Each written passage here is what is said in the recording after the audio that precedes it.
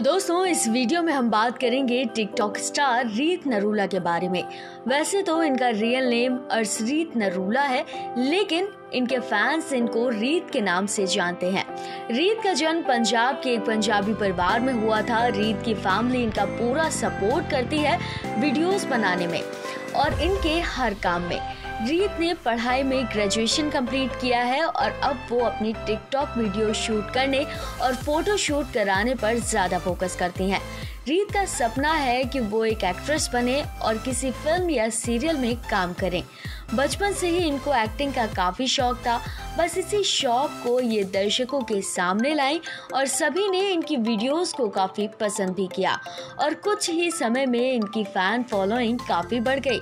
लेकिन इनकी लाइफ में ट्विस्ट तो तब आया जब इन्होंने सैम नरूला से लव मैरिज की और सैम यानी अपने पति के साथ वीडियोस बनाना शुरू किया, जिसके बाद इनको मिलियन में लाइक्स आना शुरू हो गए। क्योंकि सैम भी काफ़ी समय से टिकटॉक पर वीडियोस बना रहे हैं। सैम भी एक अच्छे एक्टर बनना चाहते हैं। या यूँ कहें कि इन दोनों की जोड़ी इनके फैंस को काफ़ी ज़्यादा पसंद आती है। इसलिए तो इनके फैंस इनके हर वीडियोस पर अपने प्यार को आखिरकार दिखा ही देते हैं। तो ये थी इनके फैंस की पसंद। लेकिन अब आपको बताते हैं कि इस प्यारी सी रीत को क्या पसंद है।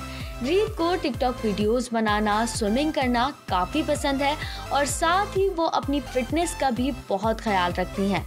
और हाँ आपको ये भी बता दें कि सैम और रीत की जोड़ी टिकटॉक के क्यूट और फ़ेमस कपल्स में से एक है। फ़िलहाल के लिए इतना ही। अगर आप भी हैं रीत और शाम के फ़ैन तो वीडियो को लाइक करें शेयर करें और साथ ही चैनल को सब्सक्राइब कर बेल आइकन प्रेस करना ना भूलें ताकि हर अपडेट आप तक पहुँच पाए।